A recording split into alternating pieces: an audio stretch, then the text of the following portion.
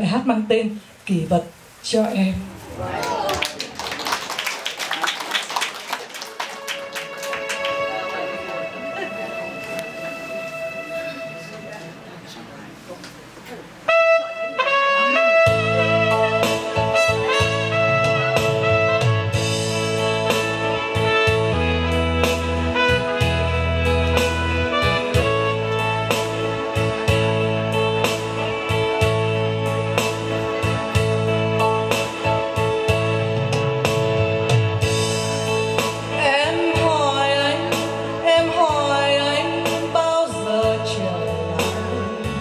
Xin chào, xin chào, mai mốt anh về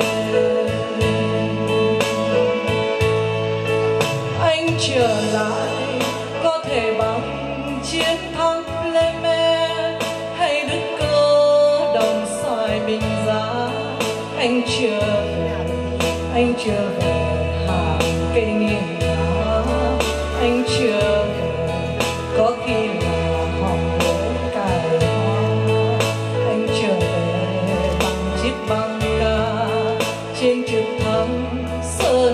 Sơn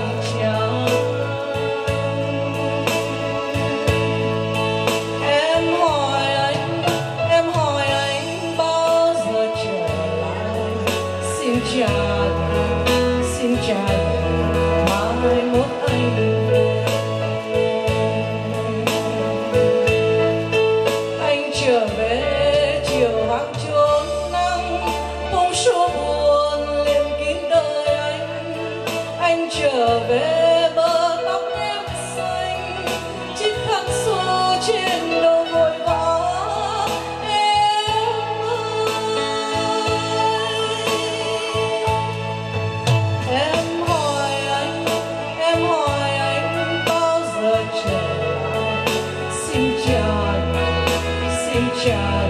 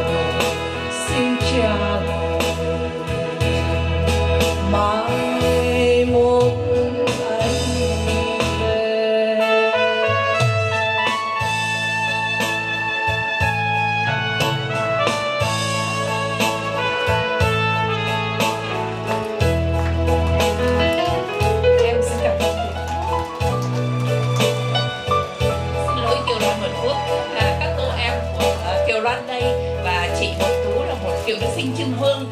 Xin uh, lên đây để tỏ lòng ngưỡng mộ một tài năng của Trưng Vương. Chị nói em làm tài năng em xấu hổ chị ơi. Em cũng rất là bình thường thôi cũng muốn mang tiếng hát của mình đến với tất cả các anh chị tại à, quận Cam khi lần đầu tiên Kiều Lan đến à, đến đây. Và uh, bây giờ Kiều Lan sẽ uh, một cái tiết mục nó hơi đặc biệt một chút xíu. Đó là Kiều, Kiều Lan sẽ ngâm một bài thơ